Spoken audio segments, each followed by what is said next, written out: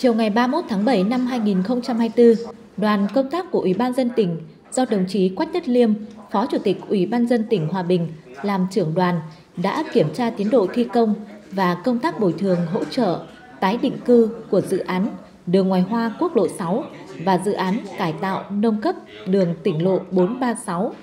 và tiến độ giải phóng mặt bằng cụm công nghiệp trên địa bàn huyện Tân Lạc. Tiếp và làm việc với đoàn về phía huyện Tân Lạc có đồng chí Đinh Duy Khải, Phó Chủ tịch Ủy ban dân huyện. Dự án đường ngoài hoa quốc lộ 6 có tổng mức đầu tư 305 tỷ đồng, trong đó ngân sách tỉnh là 295 tỷ đồng, ngân sách huyện là 10 tỷ đồng. Tuyến đường có tổng chiều dài 14,868 km, bao gồm tuyến chính và tuyến nhánh. Đến nay, diện tích đã thu hồi và bàn giao mặt bằng là 22,6 ha trên tổng số 30,9 hectare Tổng vốn cấp là 81,63 tỷ đồng, tại thời điểm báo cáo tiến độ giải ngân dự án được trên 79 tỷ đồng. Các nhà thầu đang tập trung nhân lực, phương tiện thi công các đoạn tuyến đã được giải phóng và bàn giao mặt bằng. Đối với dự án cải tạo nâng cấp đường tỉnh lộ 436, đoạn km 0 cộng 00 đến km 7 cộng 00 có tổng chiều dài 7 km từ địa phận xã Phong Phú đến địa phận xã Nhân Mỹ. Đến nay đã thực hiện công tác bồi thường với tổng số tiền trên 3 tỷ đồng.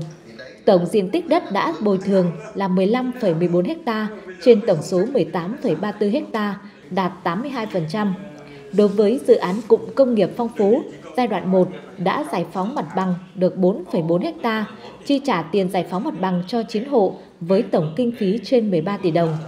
Vấn đề khó khăn nhất hiện nay ở các dự án là vấn đề giải phóng mặt bằng. Một số đoạn tuyến đi qua đất rừng phòng hộ, đất quy hoạch đặc dụng nên các thủ tục chuyển đổi khá khó khăn. Ngoài ra, còn một số hộ chưa đồng thuận với phương án bồi thường, giải phóng mặt bằng và tái định cư nên ảnh hưởng chung đến tiến độ của các dự án.